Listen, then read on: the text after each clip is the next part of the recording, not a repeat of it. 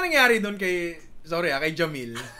I mean, ako, honestly, ang hindi ko lang din maintindihan kasi 13 million subscribers. Tapos, dinilit yung channel. Like, Dude. dinilit nila. Dude, nothing, nothing of that makes sense. Di ba? I've spoke to a few people about that. Oh. And yeah, none of it makes sense. Di ba? Kasi, hindi ko, hindi ko maintindihan. Probably this is emotionally driven eh. One hundred percent. Dahil lang ba sa YouTube, dahil tayo na andito, lumalaban tayo sa relasyonan dahil sa YouTube. Hanggang sa, eto, kumuha na kami ng desisyon. Hindi sa pagiging chis... Oh, sige, nagiging chis- chismoso na tayo. Oo pero, nga. Okay lang, podcast na to. Podcast minsan eh. inspirational, minsan chismis. hindi, tsaka ano to eh. Content creator sila eh. Kasi gusto mong, gusto mong pasukin yung isip nila. Exactly. I want to, yeah, you want to understand what their perspective is. Why did they decide this is a good idea? Because at the end of the day, this is a business that Yeah. they built over these years. Oo. Di ba? Like, Pinaghirapan nila to. ang tagal nilang binuo yun. Matagal nilang binuo. Respect And- sa kanila. And di you ba? can sell, you can delete, you can sell it, or or one of them can buy it. Because it's it's very normal for creators to break up, Yeah. diba? Mm. So Pero bakit? I mean, kaya nga sinasabi ko emotional driven to kasi hindi siya logical talaga. when a, when emotions are high, Mm-mm. intelligence is low. Yes. Oo. Hindi ko talaga alam. Hindi ko at very curious ako sa kung ano ba talaga. Ang dali kasing sabihin na nag-away sila tapos nag-delete sila ng channel. Pwede ba nating iwan yun at that? Feeling ko hindi. Matalino tong mga to. Alam nila yan. Matagal na sila sa industriya.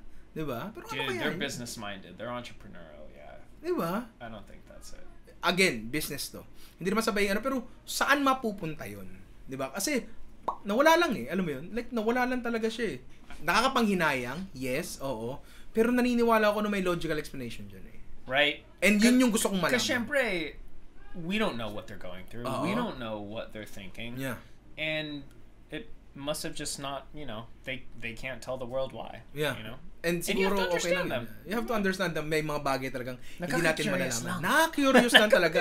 Because Diba? how could you? Because this is our livelihood. Oo. It's like burning down your own house. Mm, Baka worse pa. Alam mo yun, di ba? Eh. Di ba? Di ba? Alam mo yun? Like, bilang creators din kasi, like ako, I, I would never do that. Di ba? Siguro, the worst that I can do is just not upload. Alam mo Yeah, yun? yeah, yeah. Let myself fade.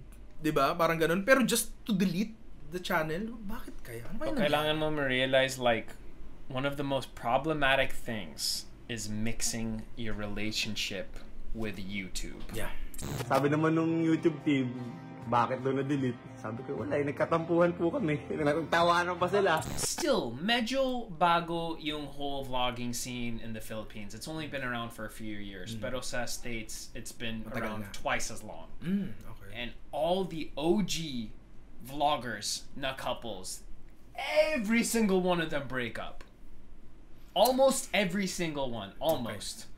And they all have the exact same stories because say when you're living your life behind the camera and you you start to do things for the camera and for the entertainment you kind of lose the essence of your relationship and it just it's mm. it's really difficult So siguro pwede lang natin sabihin na na-burnout sila.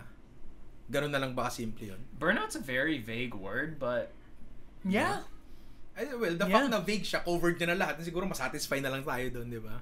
yeah Yeah. Uh, i mean they lost their passion, they definitely lost their passion Hindi ko sasabihin na mali yung decision nila. Wala wala We wala akong We- karapatan. yeah. Wala akong wala tayong karapatan. Yeah, Curious exactly. lang ako. Yun lang. Bakit? Kasi again, bilang creators, binuo natin to ng matagal.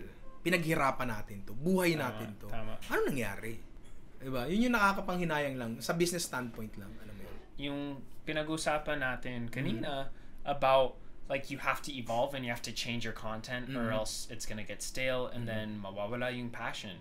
Maybe they were doing the same type of content for so long Mhm. that they just didn't get any more fulfillment out of it. I Maybe ma- nabore sila. Oo. Uh, but then again, I, I don't watch their stuff, so I don't I don't know if that's eh, true. but, sure eh. but maybe that's it. Well, I mean, it's it's okay because they're. I think it's catered towards a younger, Younger, oh. audience. Hindi I ako pasok sa market Matanda nila. tayo, pre. Matanda na tayo, pre. Hindi tayo pasok sa... Pero yun lang, thinking na 13 million to 14 million subscribers ata sila, I think. Ins- Kaso wala, ay... It's insane. Ako wala pang isang million eh, alam mo yun? Pero... It'll come out eventually. I mean, I mean, yeah. when, the, when they're ready to talk about Siguro. it. Or, siguro. you know. Pero yeah, nakapanghinayang lang din kasi binuo natin to, nahirapan tayo dito sa bagay na to. And yung effort na yun dapat may kapuntahan eh. Watch the entire episode for free only on Spotify.